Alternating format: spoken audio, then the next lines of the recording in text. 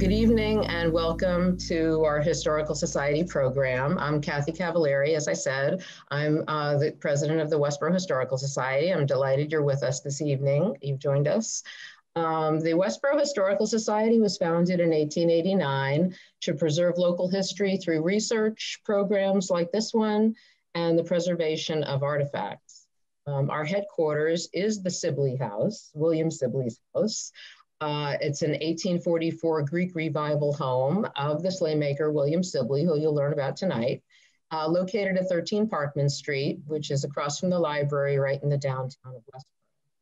For more than a century, the Society's mission has been to celebrate local history and bring that history to life through our monthly presentations, Sibley House tours, and special events.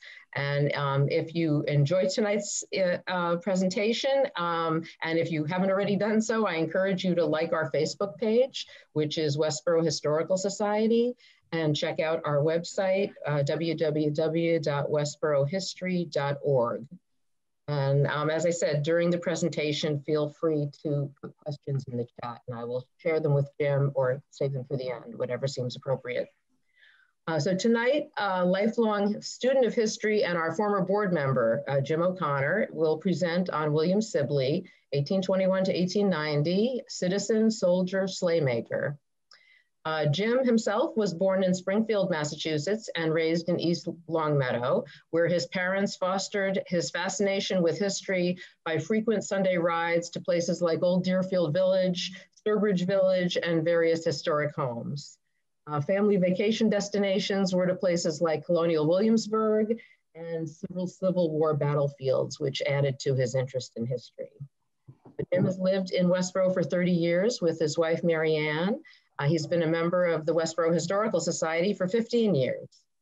And in this program, Jim will chronicle William Sibley's life at a time of national crisis and dissension. Uh, respected citizen, Sibley joined Westborough's Company K, uh, when he accepted President Lincoln's call for volunteers after the attack on Fort Sumter and the secession of the Southern states. Um, upon his return from the war, he became one of the leading sleigh manufacturers in Westborough in the 1850s. And now I give you Jim O'Connor. And Jim's going to share his screen and do his presentation. Okay, let me let me share the screen.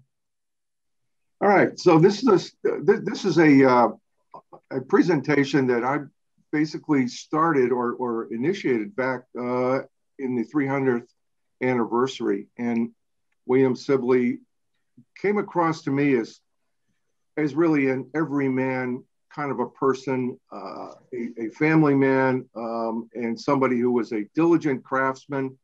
He was a patriot. He served his country, came back, and um, uh, uh, basically was a rock solid citizen in, in Westborough. That intrigued me, the, the, the commonness intrigued me. And you'd almost imagine you could see somebody like him, and I'm sure you could in, in today's environment, 2021. Um, the story starts with, with William being born in, uh, in Westborough, Massachusetts, April 2nd, 1821. The arrow shows where uh, he would have been located. Um, this, uh, the, uh, the top line would, this is the 1830 survey map. That would be uh, the equivalent of Route 9 at the point. That point, it was the Boston uh, Worcester Turnpike. And uh, my cursor is, is basically shadowing where Sibley's home would have been on the way to, uh, on the way to the, the lake, Lake Chauncy. Um, this is in 1830. Um, his father, Silas, called himself and was quite proud of calling himself a uh, wheelwright. A wheelwright is distinguished as a craftsperson, a very sought after craftsperson in the age of horse drawn carriages who could fashion a wheel properly, who could do it with exact uh, dimensions, who could build a sturdy hub, sturdy spokes, and could keep uh, uh, agrarian and, um, and, and, transportation uh, horse-drawn carts moving through lousy New England roads constantly. He was a very sought after craftsperson. This is the craft uh, as well as uh, uh, and uh, ancillary skills of, of uh, blacksmithing that he taught his two sons, Francis and uh, three sons, Francis and and Leonard and William. Um, all three boys learned from the father um, and took that took those skills forward um, as life life examples. The, the, the picture you see of the house is obviously the, the, the Sibley House, which is now headquarters for the Westborough Historical Society and has been um, for some time. Um, when it was built in 1844, it was it was the uh, it was the only brick uh, residence on Parkman Street. It's at 13 Parkman Street, and one of the few in in Westborough actually. Um, Sibley, uh, Sibley had uh, uh, five children. Unfortunately and tragically, which is often the case of early 19th century, uh, there was at least three children. There was three children that died before they reached uh, even puberty, um, and uh, one son, Charles, um, lasted until he was 26, and uh, he was actually uh, the clerk in the post office of uh, the Westborough Post Office why these why these folks died, how they died, um, is anywhere from infections to um, infected lungs. Uh, consumption was a favorite word. Um, it was a it was a tragedy. If you look in uh, uh, graveyards, old graveyards, you see that tragedy is repeated over and over again.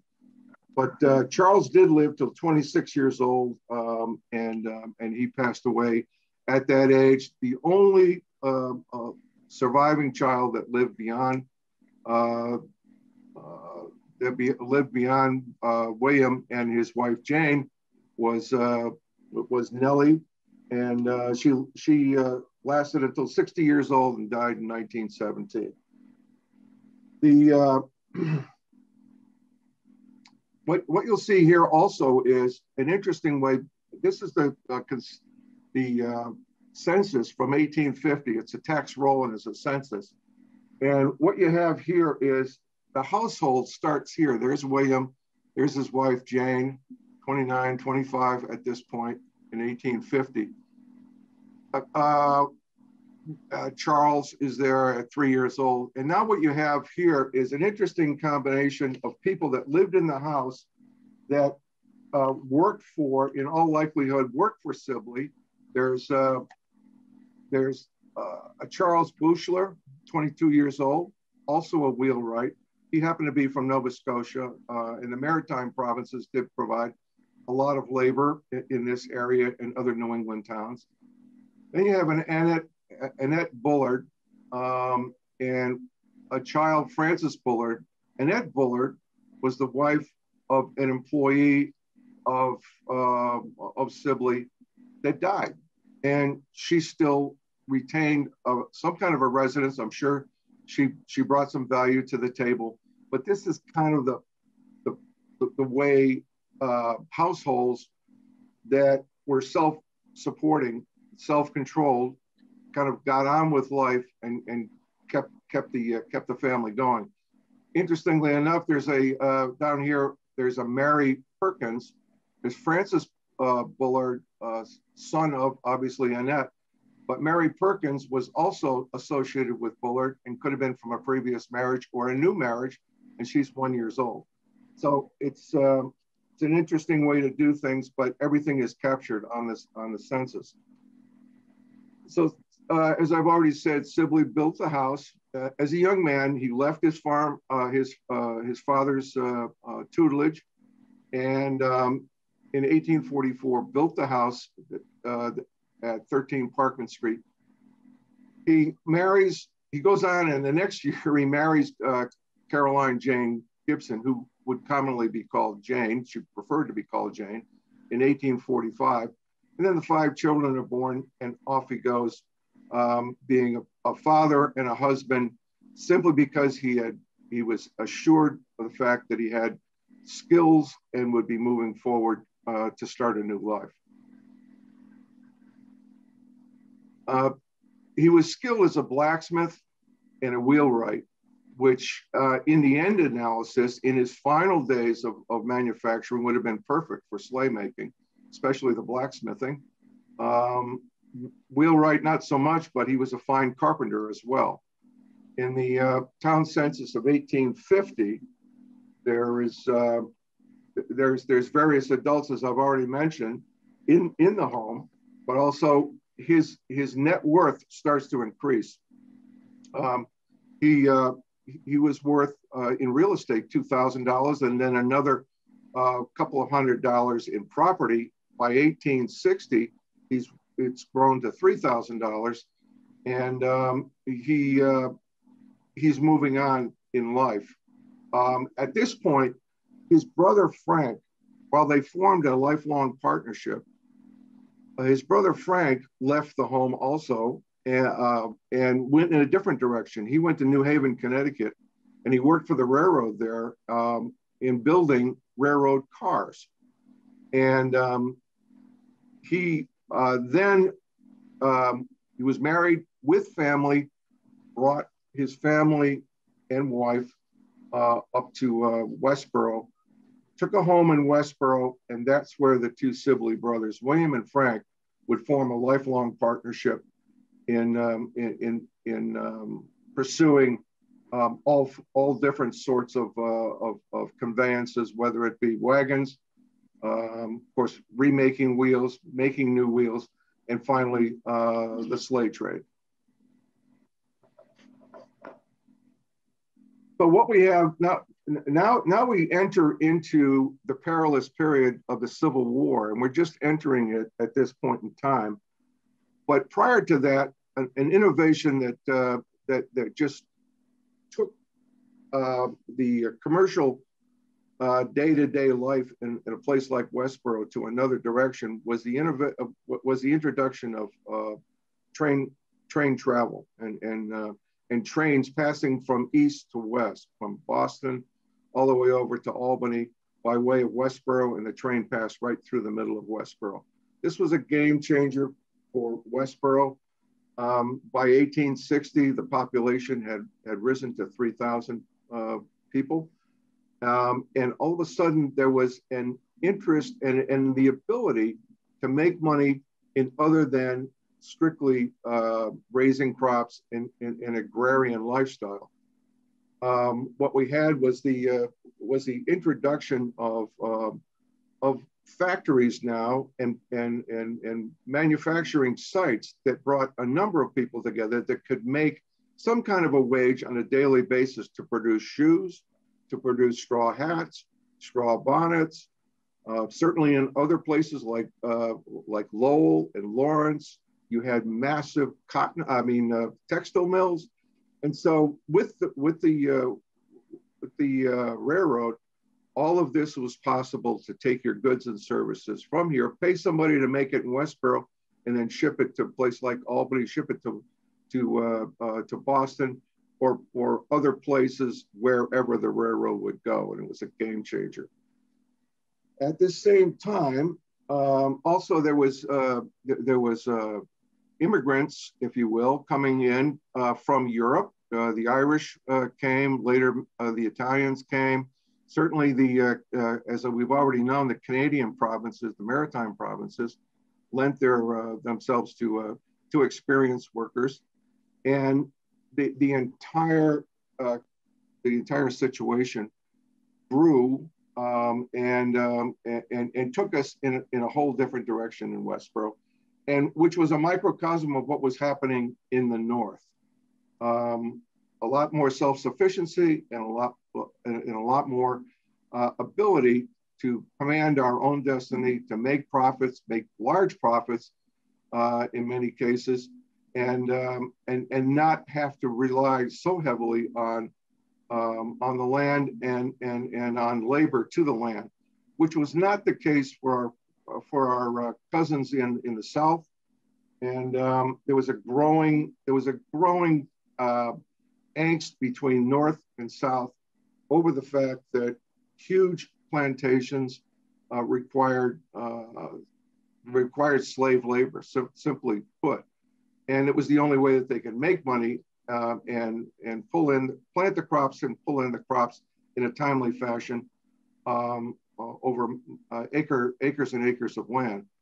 Well, this plus uh, plus the um, the abolitionists who were primarily in New England and and and uh, were were quite caustic about um, ending slavery as we did in Massachusetts in the 1780s.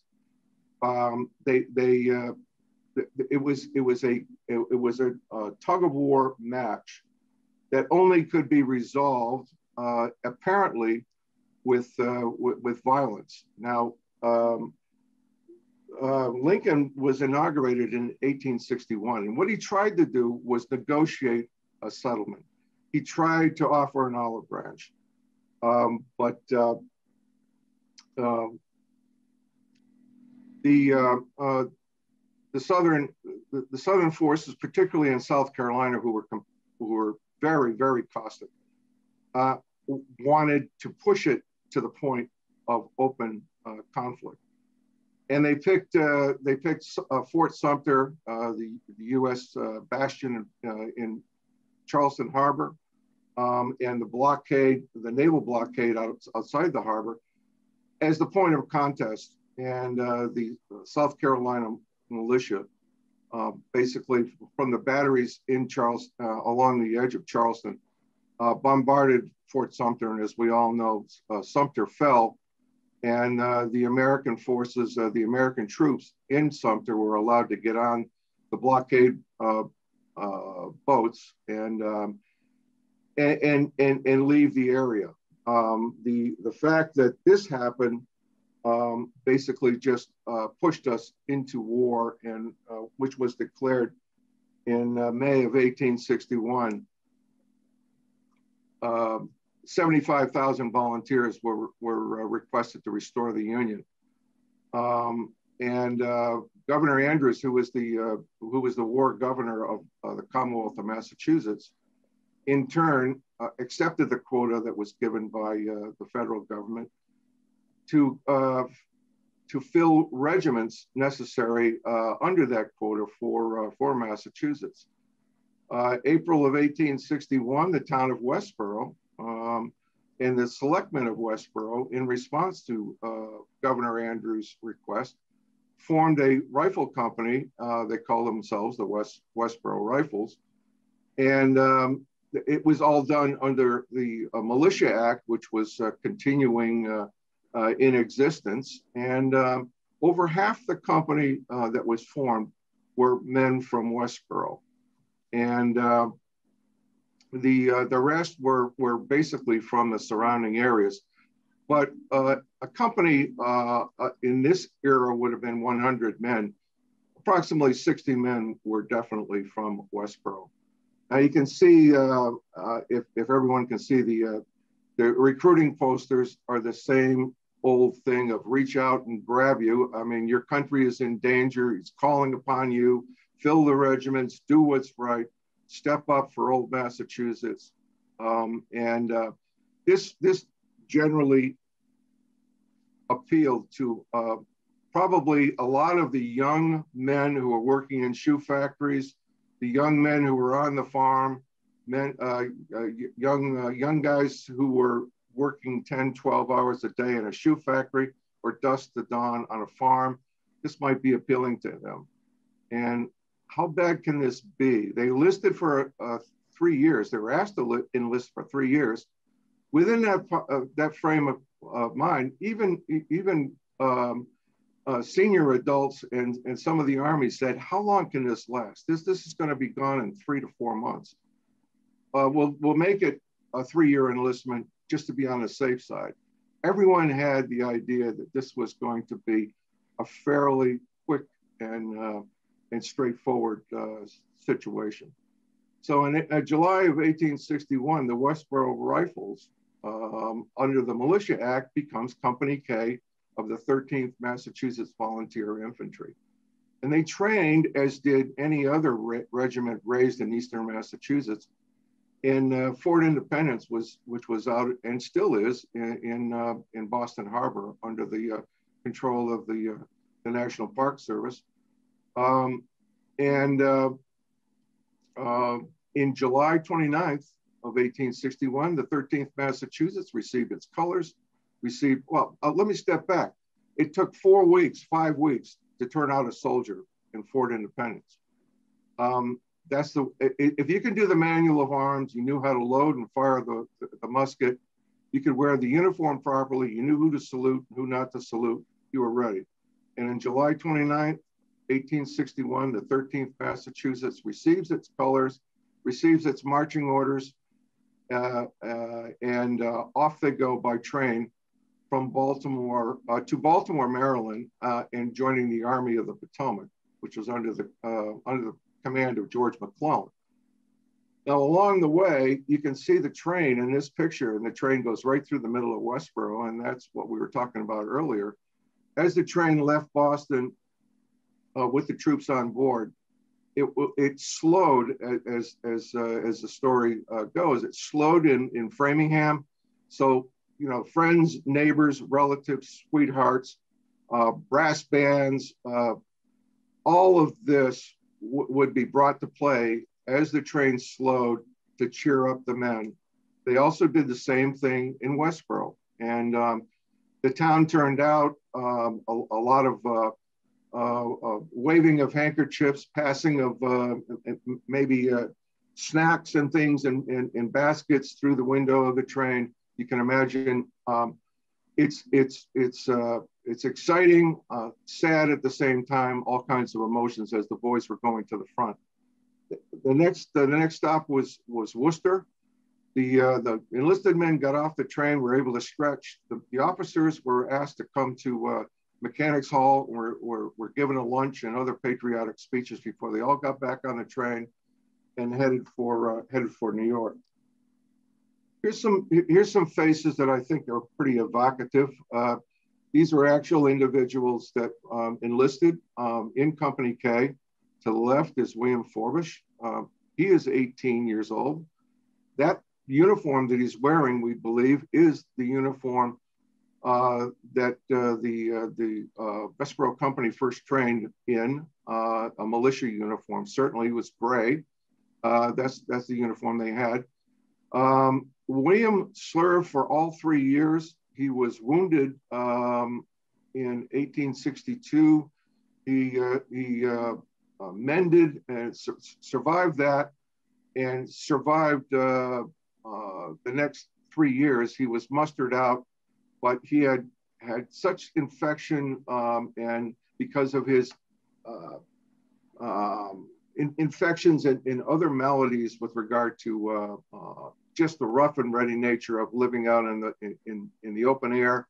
He didn't take to it well, and as it turns out, he he probably picked up uh, a disease or um, um, other other uh, problems with with regard to his breathing, which affected him later on.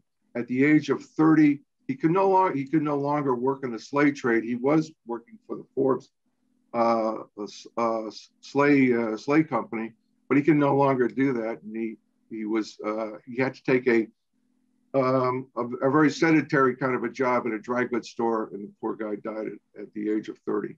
Um, Hollis, Hollis Fairbanks, you look at that face, and you think he's the graduating class of uh, 2021. He, he was 18. He and his twin brother, uh, Henry, uh, both signed up, both went off to war. Uh, Hollis, unfortunately, was killed um, at, the, at the Battle of the Second Manassas uh, prior to Antietam. And His brother Henry was wounded at Antietam. The gentleman, the austere gentleman on the far right, he was a, a former uh, pastor of, uh, of, the Methodist Church. He was uh, he, he, was 45 years old, which makes him the only guy that's older than um, um, than our than our friend uh, William Sibley. Sibley was 40 years old when he signed up, and one would say, why did he do it? I mean, he had a business. He was starting to grow the business. He uh, he didn't have to go there was a way that you could buy your way out of enlistment, even if you made the mistake of, of putting your name down. You could always back out by paying um, the, the, uh, the, the correct authorities. a certain amount, somewhere between 100 and 150 dollars, and he could have bought his way out of this situation. He wouldn't even think of it. Um, as a matter of fact, he was he was nominated corporal on the popular vote of all the 18 year olds and the other men in the in the company. Uh, that kind of gives you an idea of how he was regarded, not only uh, um, as a soldier but also previously as a as a resident of Westborough. Uh, here's some pictures, some actual pictures that uh, we have in our collection at uh, uh, at the Westborough Historical Society. Shows a meeting to the left, a meeting of officers of the 13th. Uh, um, and on the right is a field kitchen. Now you can, you can see just from the general nature of things that sanitary conditions weren't paramount. There were multiple ways to pick up infections and disease. Um, uh, that's over and above uh, being shot at or or or, uh, or, or, killed by way of a, a, shell burst. So it was it was a rough and ready life, and um, um, the volunteer the, the, volunteer organizations like the 13th uh, Regiment uh, quickly uh, caught on to the fact that this probably wasn't going to end real quickly nor easily. Um, as the men as the as the men were away and and and on their mission, they the, the women at home formed a sewing society which basically uh, there was uh, and Jane uh, Jane uh, Sibley held it right in the in the parlor of our uh, of the 13th uh, 13 Parkman Street home, which we use as our our um, Westborough Historical Society, and in that parlor they turned out socks and uh, cer certainly other uh, knitwear. Uh, they pickled vegetables and fruits. And they packaged it all up and got it to the front lines. And they did that so well that the United uh, U.S. Sanitary Commission, which is the forerunner of the of the, of the uh, Red Cross in Boston, uh, complimented them and gave them accommodation uh, for their efforts. Um, the the uh, the 13th uh, um, the 13th Massachusetts Volunteer Infantry, along with um, along with uh, other regiments, uh, the 12th Massachusetts and two Pennsylvania regiments formed the 3rd Brigade, uh, First Corps of the Army of the Potomac. And they were playing, the Army of the Potomac was playing cat and mouse with uh, Robert E. Lee and his Army of Northern Virginia all across um, the area just above the the Potomac River down into Maryland and going from west to east. But what uh, the, the, the basic strategy, the fundamental strategy of the federal troops, as echoed by Lincoln, was bring this to an end, bring this to a decisive end once and for all. And, um, and um, Robert E. Lee had the same marching orders uh, from uh, from Confederate uh, leadership um, is find your way into the heart of the uh, of the Union, find your way across the Potomac and into Washington D.C. Let's end this thing, or at least bring the Yankees to a uh, uh, to, to to a table for negotiation. Uh, what you see here is um, the, uh, the, the lines of battle and um, and the arrangement of troops and regiments um, on the morning of September 17th, 1862. The town is called Sharpsburg, Maryland, but forever it's known as Antietam because the Antietam Creek ran right through uh, part of the town. The town was populated by uh, several hundred, a couple of hundred, um, basically uh, Quakers, if you will, or pacifists who were of German descent and they were uh, their religion was uh, they, they, were Mennonites, and they um, all, all, of a sudden uh, over forty thousand troops, pretty much evenly uh, split between Union and Confederate, ended up in their backyard, and over a period of twelve hours, not even a full day, it was the the most uh, tragic uh, outcome in the entire war. In one day, um, 20 to 25,000 men were killed or wounded. What we have is, what I have is, and, I, and I'd like to uh, just give you a sense of um, what happened in that hour and a half conflict. It was, it was, uh, it was given to us by Sergeant Austin Stearns, who wrote a book, Three Years in Company K, and he talked specifically about, and he was there, he was in the ranks, and I think this would uh, would, would help give you a vision of what, what was going on. Um, he writes, a foggy morning dawned 17th of September, 1862. Each army was astir, preparing for deadly struggle at hand. No fires were permitted to make coffee. A simple breakfast of hardtack was our meal. The sun rose, driving the fog away. Um, what we're doing, what, what I'm showing you here is, this is a church called the Dunker Church. Here is a battery. These are these are the uh, um, these are the Confederate positions. The uh, the Union position, and specifically the 13th uh, uh, Massachusetts, was in the East Woods right here, and launched from here to take on the, the Confederate line. There was like 5,000 5, men in the East Woods. They came out arrayed themselves and went in, into a forward charge. Um, so it says, uh, we, we were quickly placed in the line and advanced out of the friendly shelter of our woods and into the open field, recently harvested. Directly to our front and a half mile away was the rebel line waiting to receive us. The ridge behind their line was crowned with batteries and, and some guns placed near a stone church, which was the which, which was the Dunker Church and then two batteries here, Confederate artillery. All the guns opened on us as soon as we showed ourselves. The first shots went over our heads, the next ones came closer. We crossed over a fence that separated the fields, reformed, and went on. I remember looking back as a shell went screeching overhead, see, seeing it explode into the first rank of the brigade behind us. The skirmishers of both armies were having a regular give and take, and the Rebs were falling back as we advanced. We next entered a cornfield, and this is a famous place right here in that first, uh, first morning's uh, element of the battle, which was uh, intensely fought over. We next entered a cornfield. We were soon moving through rows of mature stalks Shells now were falling amongst the ranks, exploding into multiple pieces. The skirmishers had all withdrawn, and we were halted in the cornfield in order to fix our bayonets. We were now uncomfortably near the rebel lines. When the Rebs first fired, many of their balls went over our heads, but others taking deadly effect. We halted and commenced firing by battalion and company. Men now began dropping on all sides. What happened was they lost their momentum.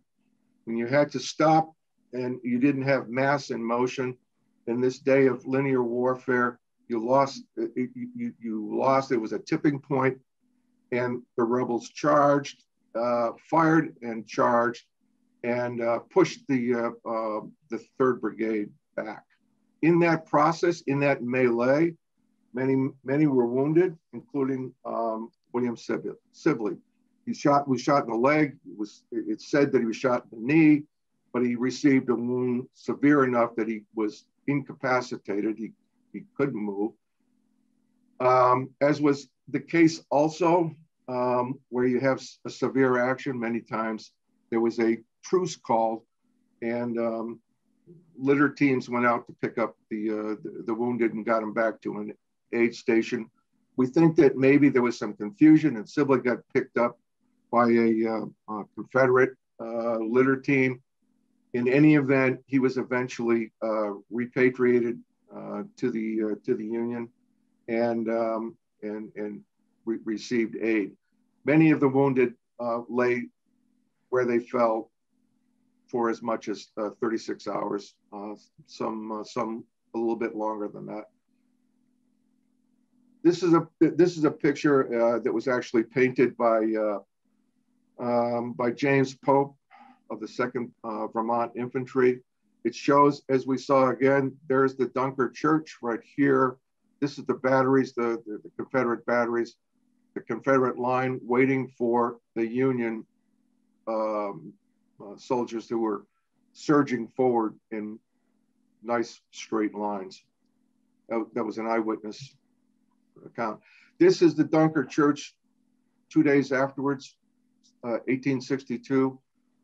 These were uh, uh, Confederates uh, that were left on the field, uh, having not been pick, picked up all the, the dead. Uh, here is the present site as it's as it's shown in the National Park Service. That's the same building restored. These are some cannon and gun that are there to show the, the positioning of the field artillery. This is uh, this is a monument to the to the 12th and the 13th Massachusetts uh, Volunteer Infantry in the place of the cornfield. This is the cornfield right here, and uh, the actions and the courage that they uh, that, that they uh, uh, showed um, on the 17th of uh, September. 22,720 Americans lost their life, killed, wounded. Um, Mathew Brady had an understudy who he couldn't get there from Washington and he detailed the guy, uh, his his protege, to go film the aftermath. And this is uh, obviously a row of unburied uh, uh, Confederate dead. So our friend uh, Sibley, uh, his his his war experience ended on that day in that hour. In that hour between six and, and seven in the morning, the war was over for him. Um, at the top is is actually uh, is actually the um, uh, line an entry to uh, uh the the uh, orderly books showing that Sibley was now in a hospital in Germantown, Pennsylvania, as a result of uh, wounds received 17 September 1862, and he has a clothing race. account set up for him of $77.47 because he uh, he would he would need some sustenance and clothing. Uh, the building below this was the Germantown Town Hall, just outside. It's a suburb of Philadelphia. All of these buildings, all of these wooden buildings, were constructed um, because of the uh, the theater of war in the east was so active. Um, they uh, this just helped uh, offtake the, uh, uh, the, the, the, casualties that would otherwise have to go up to uh, uh, Washington, D.C. Um, and um, Sibley stayed here for a period of almost a year, convalescing. And um, because of his maturity, because of his business acumen, they, they liked him so much, they, they kept him for a while longer as he was still progressing and made him a sergeant and uh, put him in charge of uh, storekeeping uh, for all medical supplies and everything else. And so he was a commiss- he came out of there as a commissary sergeant. He wasn't going to go back into active service anyway. His leg was such that he couldn't couldn't maintain active campaigning. So uh, this was a way for him to um, uh, go into uh, discharge um, with with honor and always, always uh, adding value wherever he went. This is a, a, a picture of uh, the, the monument, which we know very well across from the, um, uh, uh the uh, town hall. And um, down below in the bottom right is uh, the, the GAR post, I think it was post 80 that was in this area.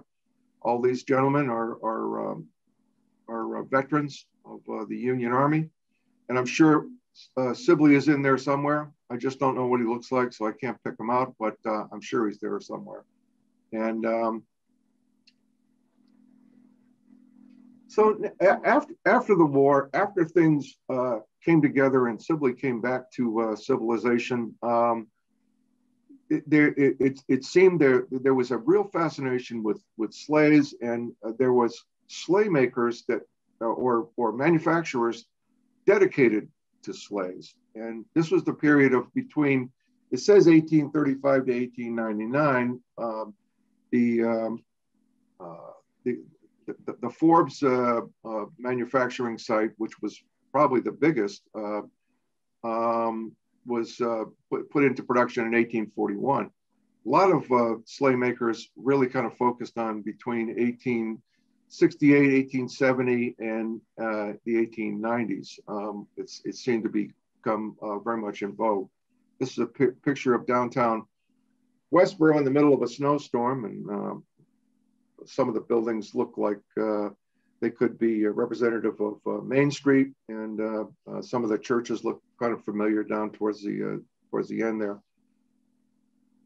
The Portland Cutter was one of the more prolific styles, and a style that um, I, it, it, was a two-seater. It was kind of like a, a, a little coupe, if you will. Um, uh, it wasn't. Uh, it was light. It was. It was. It was very fast. It was for somebody who knew how to shape wood, how to shape metal. It was uh, probably as straightforward uh, a, a, sleigh as was possible in this period.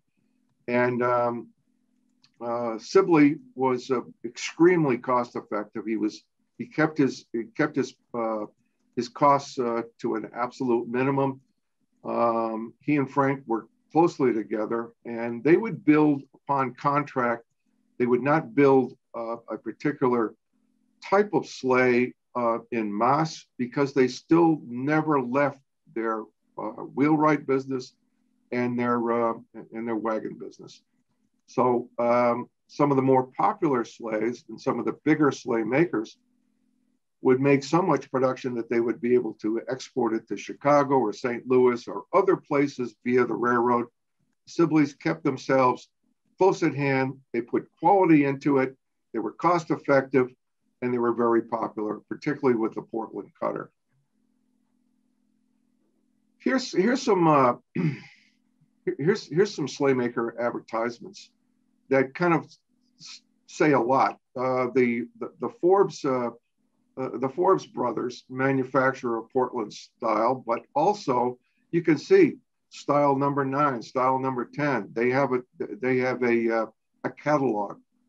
Um, and up in the up in the upper right hand corner, you, you see William H. and Frank Sibley.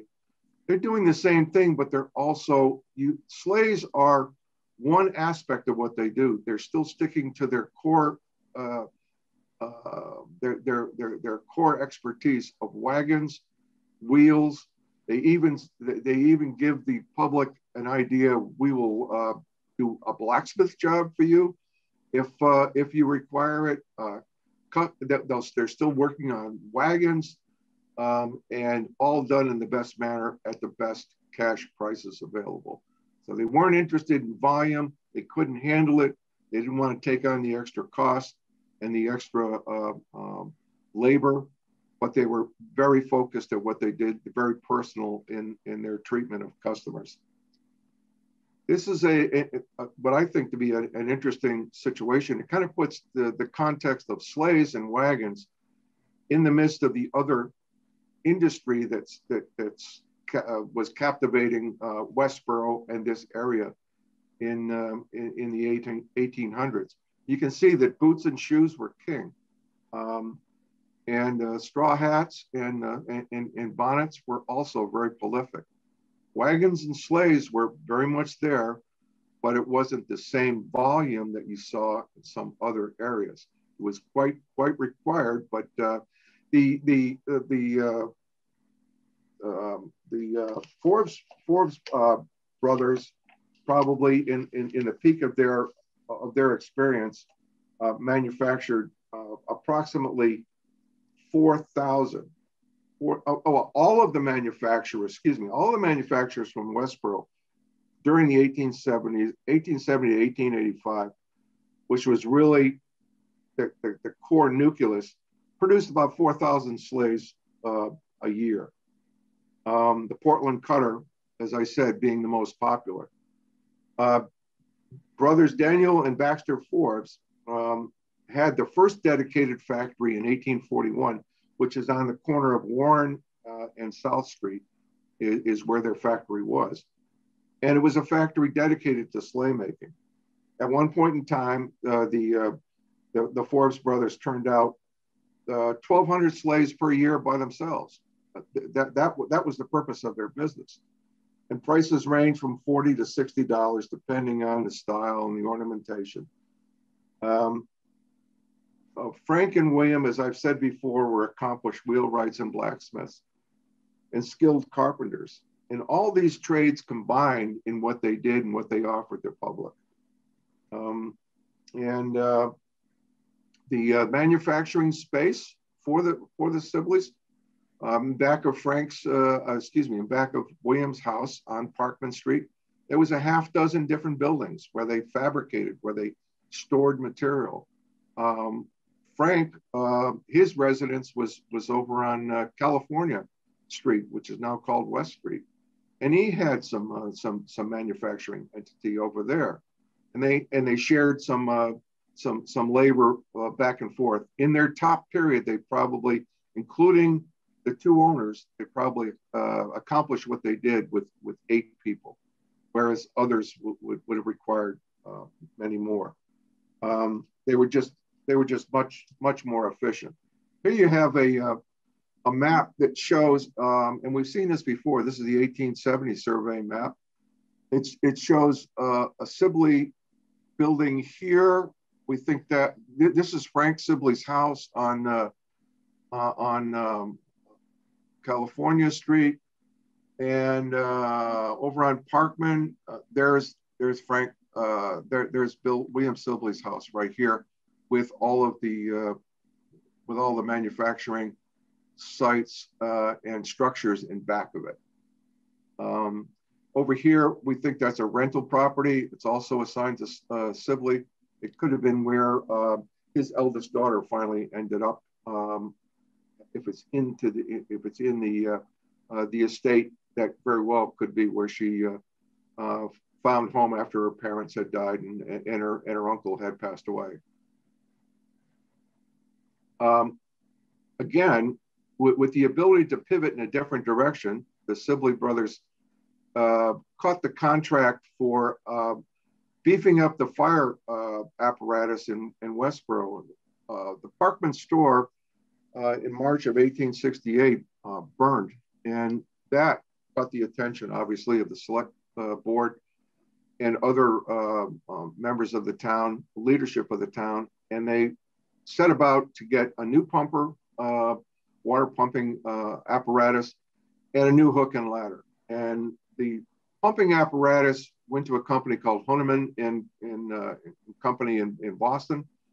Uh, they had expertise in that area. They did it very well. But the other piece, they kept local and um, a hook and ladder um, and all of the uh, apparatus on that was uh, contracted to uh, the Sibley brothers. And um, for a price of uh, somewhere in the neighborhood of $240, the town was very pleased. And um, and um, the firefighting capability of the town of Westborough came up three notches uh, ju just with these acquisitions. Here you've got uh, uh, graphic evidence of time moving on from the period where you've got horse-drawn horses, uh, horse-drawn uh, power to uh, horsepower in a combustion engine. Frank uh, William Sibley died in 1890. Frank, uh, his brother, and his partner died in 1901.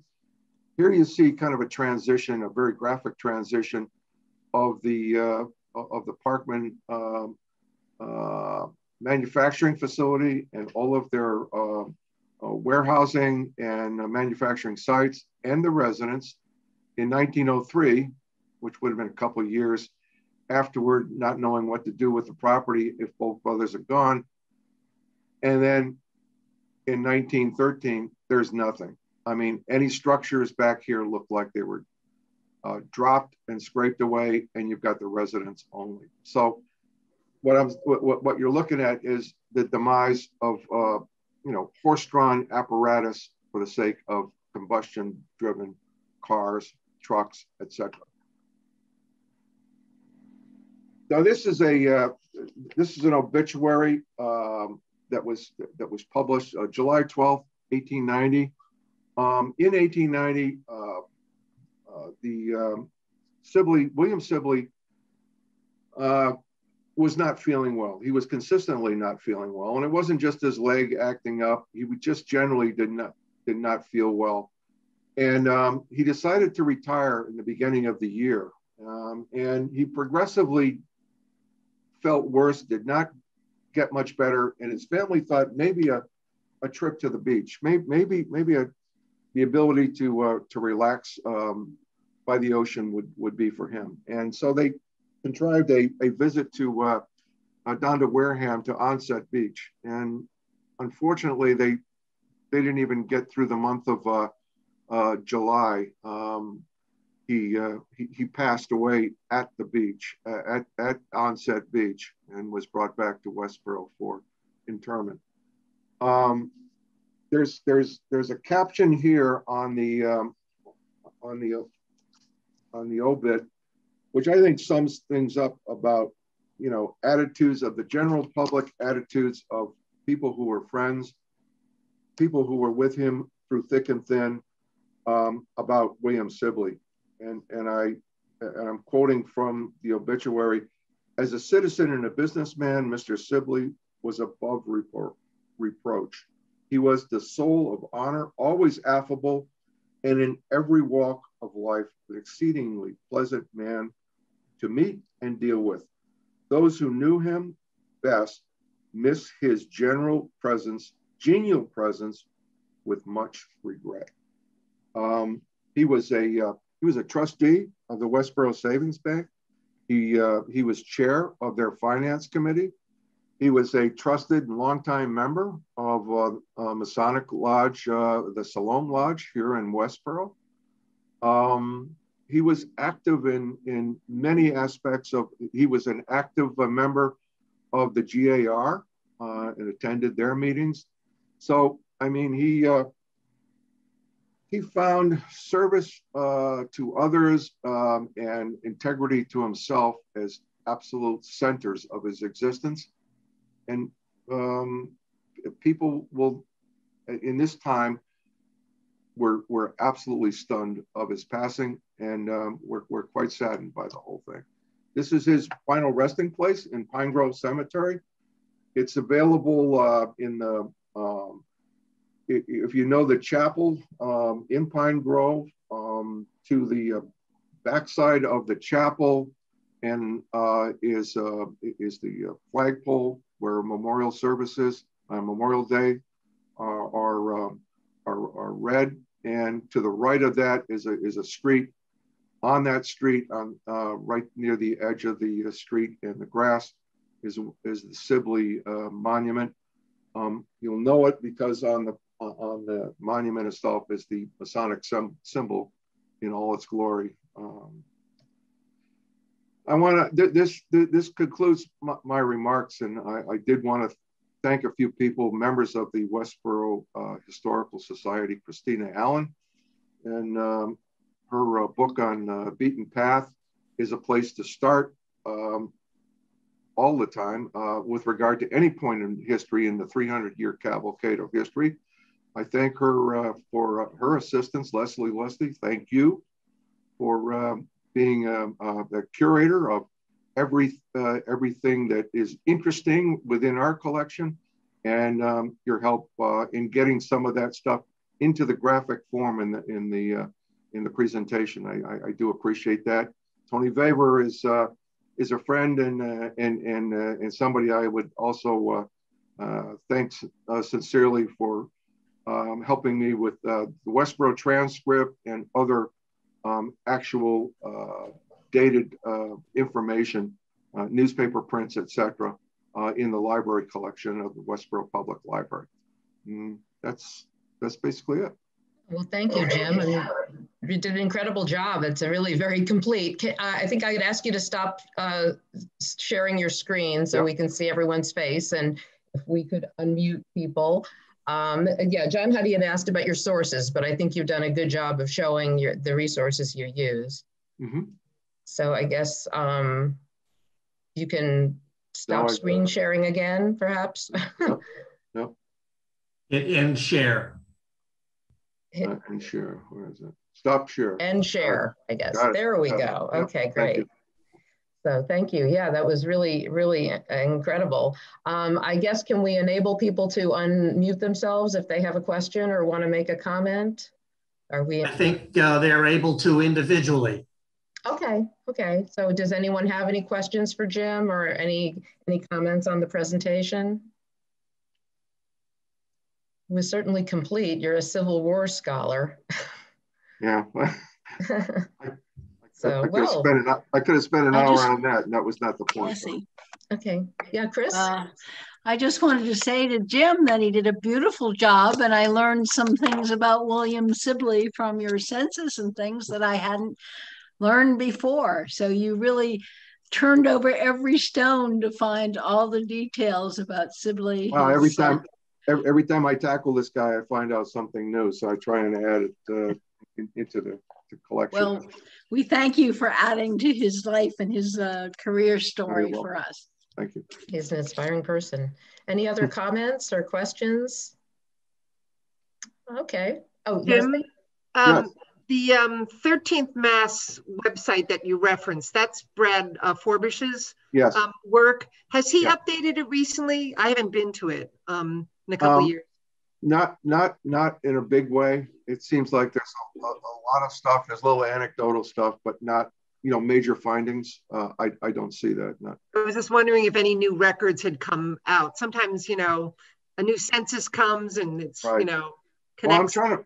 I'm, I'm, I'm interested enough in the Civil War, obviously, that I'd, I'd like to foster that connection going forward. And so uh, I, I'm, I'm talking to him and sending things back and forth. And since he's all dedicated about the 13th and, and is connected to Company K, I think we'll have maybe a path for future information. So. Excellent. Thank you. Yeah, Mr. John, John Huddy. Yes, uh, thank you, James. That was excellent, uh, as one would expect.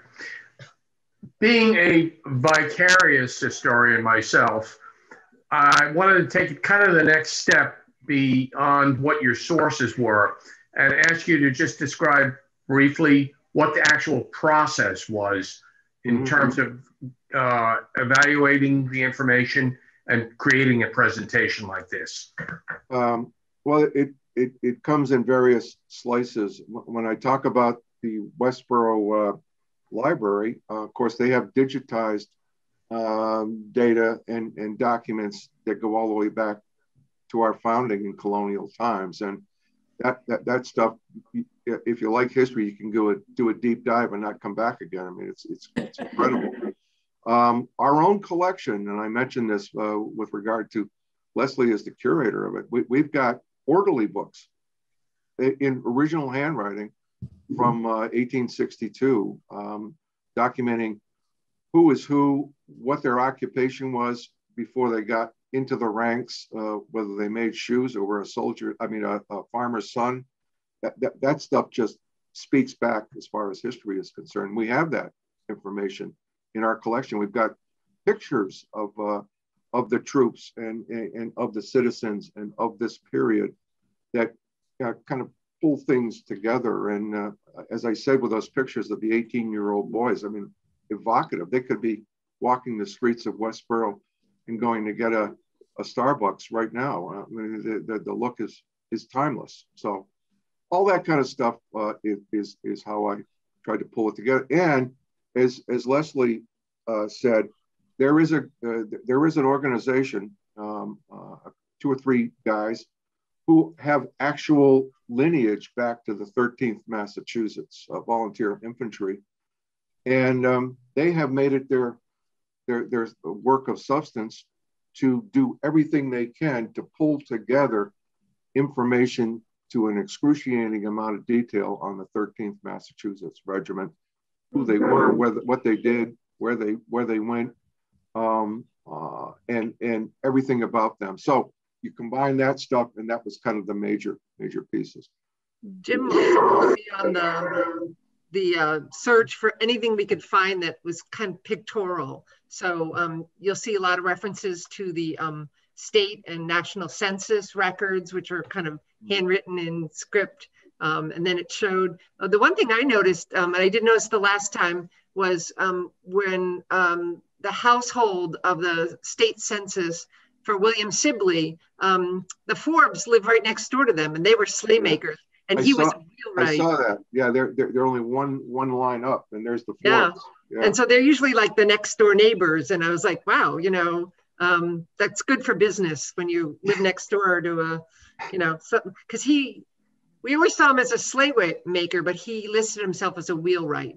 So he Oh, did. he, he, he everything. insisted, he, he, he took that as a very serious, uh, uh, handle. Uh, His, uh, his wheel, wheelwright was, was his core, uh, expertise. Yeah. And then a final question, I promise, Jim, uh, is do we have any photos of either of the Sibleys? Uh, there was one young man in uniform uh, in the slide where you had the roster, and I was half hoping you would say, and there's the guy right there, Corporal No. Sibley. No, that guy was C.W. Const- Comstock, and he wasn't even from Westboro. He was from Upton, and uh, he he was in the Class A uh, federal full dress uniform. And I will tell you, and I will tell you this. Just uh, you got me talking about the Civil War, and I'm just going to say one more thing. They formed a company of 100 men and boys, 100 men going off to war. And uh, they left um, Fort Independence in July. 14 months later, standing in the ranks, forming, coming out of the woods uh, in attack at Antietam, there were 35 of them in the ranks.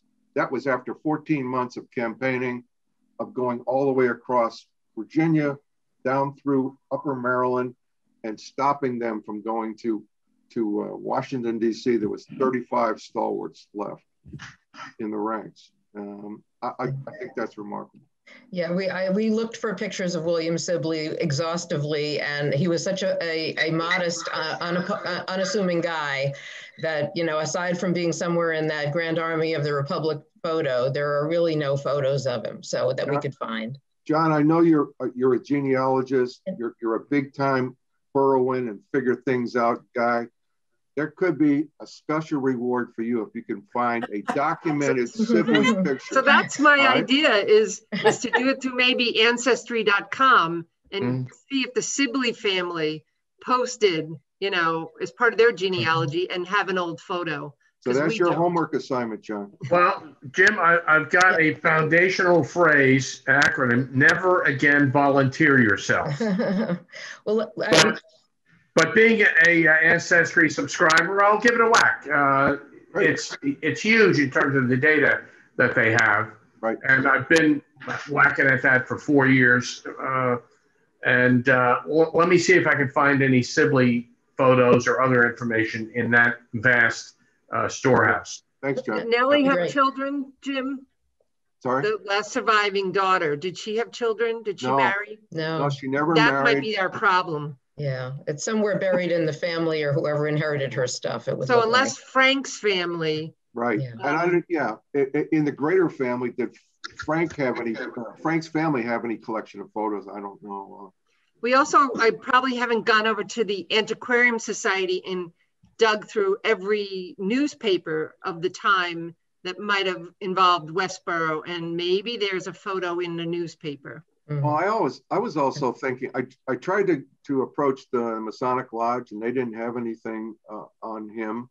Maybe he wasn't vaunt, vaulted enough to a big enough position to, to have something. But the other, uh, since he was uh, on a, he was a trustee for, I think, several years, the Westboro Savings Bank. I don't know, it, it, do they have any lineage that that's kept anywhere at, when they went to a video or? Somebody would have to contact them, their historian or, you know, their archivist.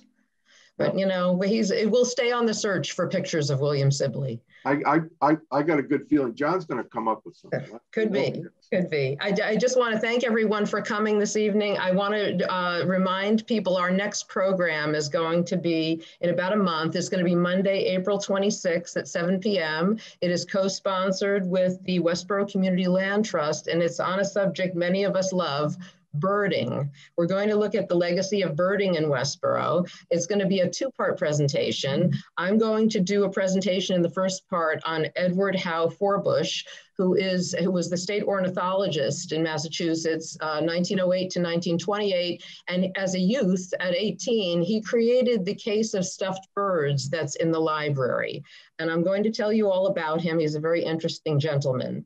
Uh, and then I will be followed by Wheaton biology professor Scott Shumway, who was the former president of the Land Trust, and local ornithologist Professor Sean Williams, who's visiting at Holy Cross. And they're going to describe favorite sites for bird watching in Westboro. So all the nature lovers should enjoy that program. That's going to be again April 26th at 7 p.m. And you can go to our website or our Facebook page as that approaches and be, and be able to register for that program. Great. So thank you very much for attending and we hope you enjoyed the evening and we look forward to seeing you at our next program. Jim, thank you. Thank you. Thank you. Great And job, Jim. Yeah, excellent job, Jim. Very enjoyable. Thank you. Thank you very much. Good night, everyone. That was great, Jim.